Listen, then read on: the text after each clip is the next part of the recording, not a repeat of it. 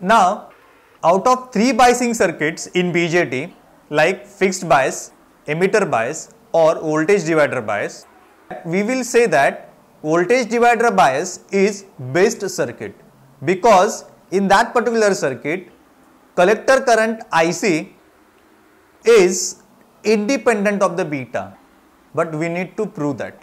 So now the question is prove that IC is independent of beta in voltage divider bias.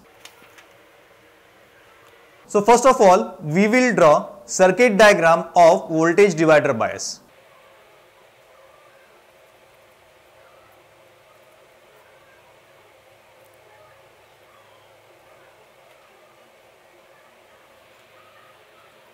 This is voltage divider bias circuit.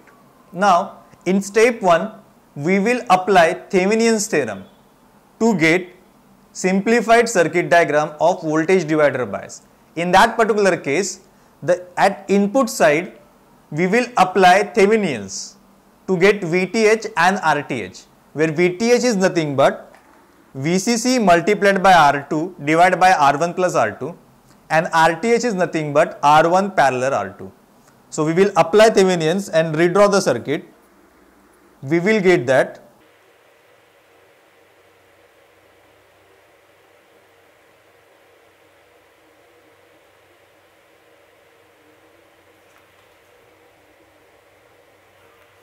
this kind of circuit diagram we will get when we will replace base side to the Thevenin's equivalent circuit. At the same time we can write this voltage at VCE. Current from this is nothing but base current IB.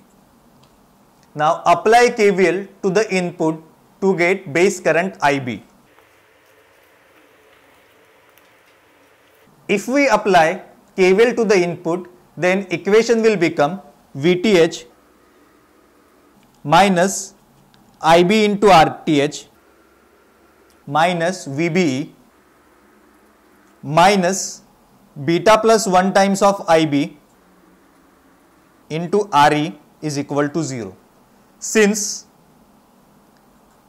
emitter current IE is equal to beta plus 1 times of IB.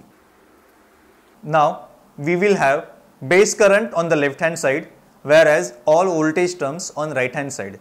So, we will get IB into RTH plus beta plus 1 times of IB into RE is equal to VTH minus VB. Hence, base current IB is equal to VTH minus VB divided by RTH plus beta plus 1 times of RE. We know that collector current IC is given as beta times of IB. So, we will write let IC is equal to beta times of IB. Hence, IC is equal to beta multiplied by equation number 1 that is VTH minus VB divided by RTH plus beta plus 1 times of RE. Close the bracket. Now, we will assume certain things. The first assumption is let beta plus 1 is equal to beta. I'll assume that beta plus 1 is approximately equal to beta and hence equation will become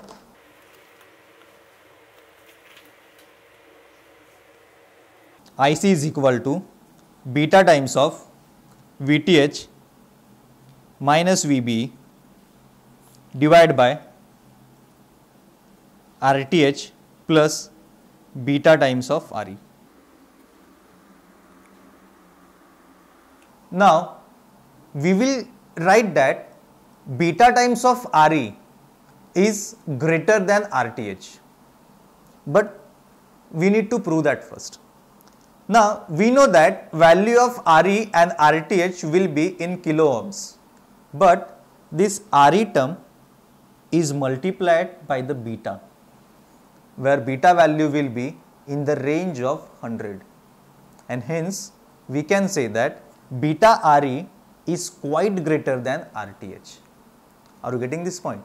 What I am doing is I am going to compare RTH and beta Re so that we will get only one denominator.